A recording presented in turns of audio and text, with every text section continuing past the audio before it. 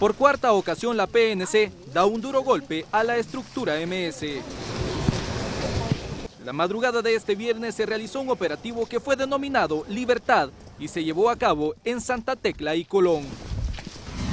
El resultado 29 detenciones, 40 intimaciones principalmente del penal de Zacatecoluca, 16 vehículos incautados, entre ellos 7 autobuses de la Ruta 97 y varios inmuebles. Los cuales estaban siendo eh, operados por eh, prestanombres, personas que mantenían un perfil aparentemente de empresarios honestos, eh, no tenían un perfil público que se le pudiese relacionar con la actividad criminal de la, de la organización a la que ellos pertenecían.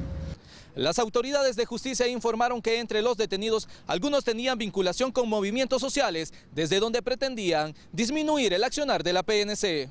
Queda evidenciado como un individuo de la MS-13, específicamente Marvin Antonio Cruz, alias El Peque, que es un cabecilla de la MS, repartía mensualmente dinero a diferentes actores sociales, a un sindicato de educación, al movimiento de trabajadores de la policía, a iglesias, a veteranos eh, del conflicto armado de ambos bandos.